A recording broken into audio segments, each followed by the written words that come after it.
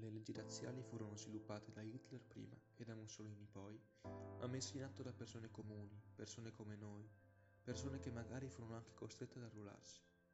Perché alcuni soldati nazisti, forse, erano semplicemente persone completamente calate nella realtà che avevano davanti, lavorare, cercando magari una promozione ogni tanto.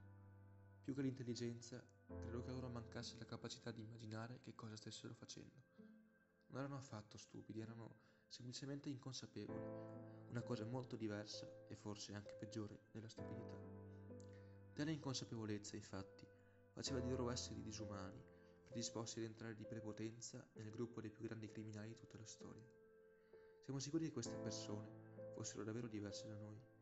Siamo sicuri che questi, considerati giustamente carnefici, agissero consapevolmente? Ma questi che cosa pensavano mentre partecipavano alla realizzazione di questo sterminio? Come giustificavano il proprio comportamento? Perché obbedirono così prontamente agli ordini?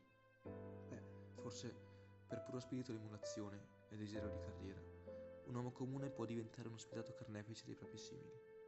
Forse anche gesti banali apparentemente innocui, come l'obbedire agli ordini, possono essere lo scheletro della più estrema umanità. E coloro che scelgono con coscienza, rifiutandosi di obbedire, purtroppo sono stati e sono tuttora pochissimi. Come mai furono così pochi i soldati tedeschi che si ribellarono a questo abominio? Basta davvero così poco per trasformare una persona in un mostro?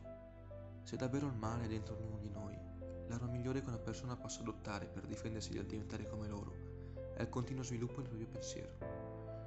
Hannah Arendt, descrivendo Adolf Eichmann come l'incarnazione della salute umanità del male, riassume pienamente questo concetto del resto, come si può distinguere il crimine quando si vive nel crimine? Le risposte a queste domande, ahimè, non le sapremo mai.